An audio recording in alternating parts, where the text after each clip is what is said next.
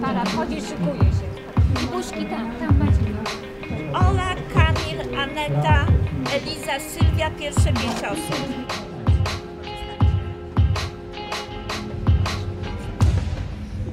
na konkursie w Gdyni jestem już trzeci raz, trzeci raz z rzędu, trzeci raz z filmem. E, I no w tym roku dowiedzieliśmy się, że jest e, właśnie też e, taki konkurs na stylizację i postanowiliśmy razem z koleżanką, która też występowała tutaj na scenie, no coś wymyśleć. Macie pięknie wyglądać, tak? Sabina i Magda.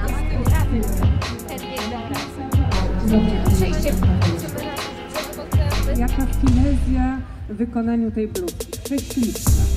Za nami Aneta Kosut, a przed nami Eliza Suchocka.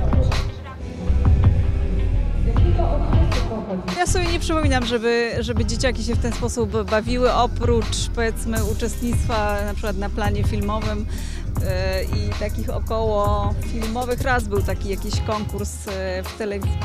No przy okazji kręcenia czasu honoru, także były jakieś stylizacje, ale tak, żeby przyjeżdżały dzieciaki z całej Polski i przechadzały się i przygotowywały się do takich eventów, to chyba to jest ewenement.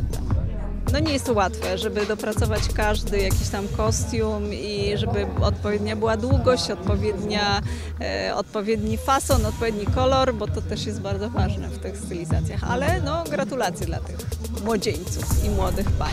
Zauważmy koronkowe rękawiczki. Pokaż Sylwia, proszę. Takie drukowane rękawiczki. Piękne. I buty wiązane, wygodne.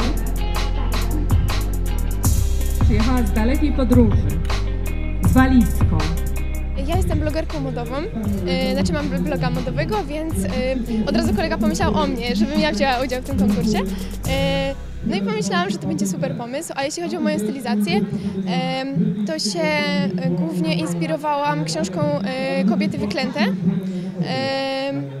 filmem yy, Miasto 44 i zdjęciami z internetu i też trochę zdjęć mojej babci przeglądałam. Stylizacja wzięła się od cioci w sumie, która e, siedziała ze mną wieczorem i pokazywała mi zdjęcia z wielkiego skórzanego albumu. E, I dała mi te spodnie, dała mi żakiet i próbowałyśmy to wkomponować w nasze stylizacje. Opowiadała też o tym, jak się żyło kiedyś, e, że ona nosiła te spodnie normalnie na co dzień. I nie wiem, to chyba nas właśnie zainspirowało, że to są rzeczy codziennego użytku z wielkim sentymentem. Ona to opowiadała. I tak, i właśnie chciałam ubrać te spodnie, nie żadne inne, tylko te, bo one mają historię. Zainspirowała mnie do stworzenia tych kostiumów Inka, ponieważ y, w tak młodym wieku, niewiele starsza ode mnie, walczyła za nasz kraj, oddała właśnie swoje życie i naprawdę imponuje mi tym. Chciałabym być taka jak ona. To jest oryginalna koszulka z powstania. Paulina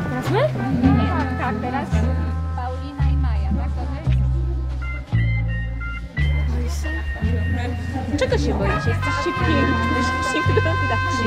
Zmienia się Uśmiechy. Czego?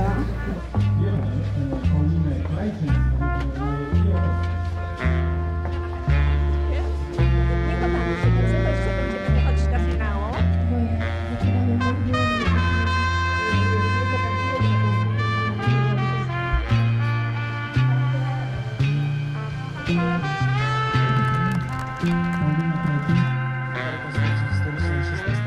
To wszystko zaczęło się w e, trzeciej klasie gimnazjum. W trzeciej, w zasadzie już w drugiej uczestniczyłem w takim projekcie e, historycznym, takim programie historycznym Opowiem Ci o wolnej Polsce. E, nagrywaliśmy wywiady ze świadkami historii, nakręciliśmy też już pierwszy e, taki e, film dokumentalny. Wtedy to też sami graliśmy w tym filmie pod wypowiedzi świadków historii.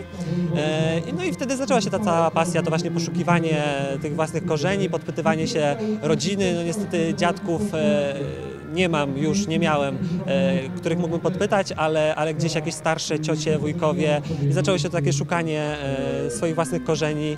tego typu spotkania z młodymi ludźmi, którzy na bardzo różne sposoby chcą przeżywać historię, opisując ją językiem filmu, albo chociażby rozmawiając z najbliższymi, szukając stylizacji e, z epoki, to pokazuje, że historia, tak jak jesteśmy przekonani, jest po prostu czymś żywym, czymś, co pobudza nas w tej chwili do, do działania. Jestem absolutnie przekonani, że ci młodzi ludzie sięgają do historii po to, aby znaleźć w niej wartości, aby szukać pewnych wzorów do postępowania także, także dzisiaj. Chyba nie można sobie życzyć niczego więcej.